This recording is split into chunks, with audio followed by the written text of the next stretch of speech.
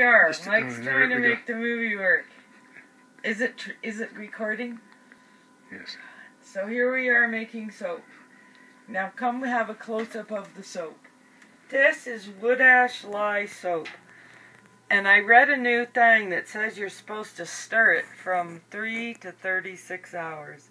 So here we are stirring the soap. This is this is the color. See the foam? And then you have to stir it till it's cold. So I put it in the bathtub to hasten the cooling, but they used to make kids do this. And the kid's job was to stir the soap. So there it is, and I'll show you the ashes later. Okay, bye. Okay, so this is the ash bin, and you can use anything. This is an old potato hopper, but a bucket'll do.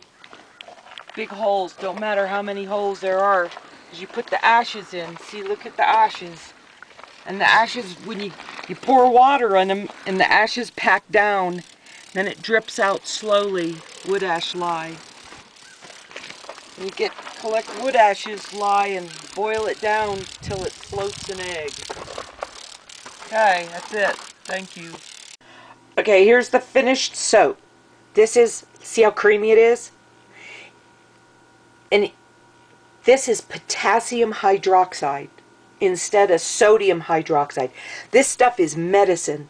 Sodium hydroxide is red devil lye. Red devil lye is easier than making this soft soap. But this is medicine. It will heal cells from the inside out. Because the inside of cells has a potassium solution. It's like that sodium ion pump that makes stuff come in and out of cells.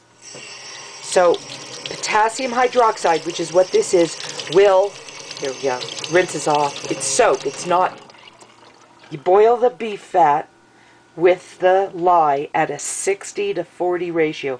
60% beef fat or pork fat or whatever kind of fat you got. And there it is. It's medicine. It heals cells from the inside out. Thank you, Jesus.